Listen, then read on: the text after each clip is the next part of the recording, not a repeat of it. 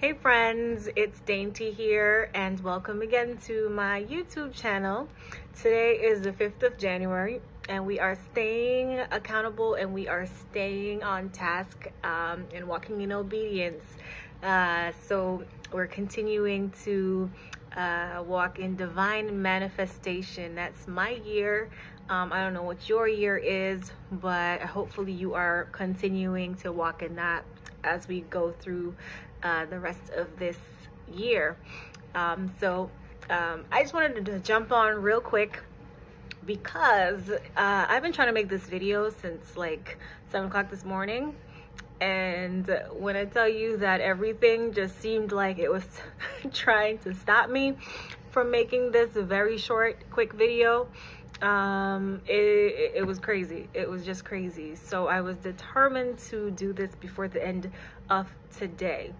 Um so when i got up this morning i said hey um uh, my prayer scripture was saint um saint matthew saint matthew chapter 5 verse 16 and it says let your light so shine before men that they may see your good works and glorify your father which is in heaven. So you know of course i was so ready to jump on and give that encouraging word. And i made a short video.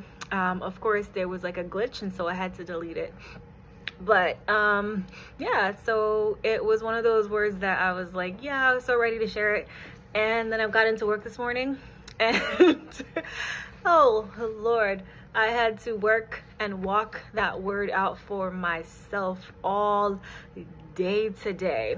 When I tell you that it takes so much energy to keep the smile on your face, to keep the joy in your heart when you have some of these days at work that are just ridiculous. Let's just say that.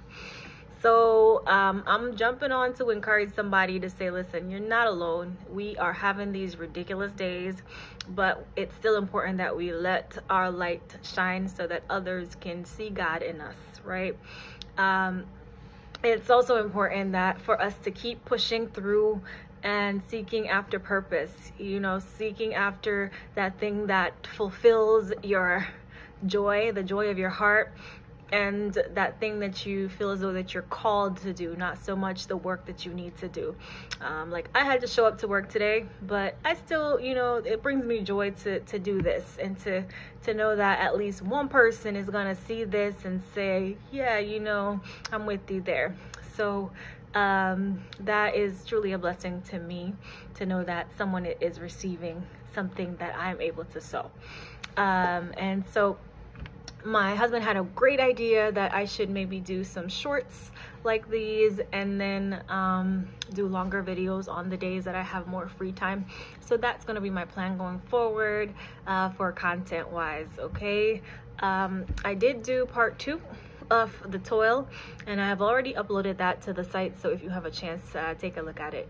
Um, I felt like it was for me so I wasn't pushed to uh, let all my friends know and let everybody know that it was on there um, because sometimes a word just hits home and I, I had to let that one sit in my soul for a while so that I could really just you know or, like own it you know that was my word.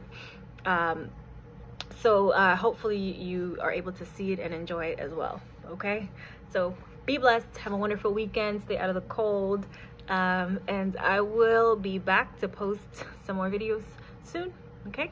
Take care. Bye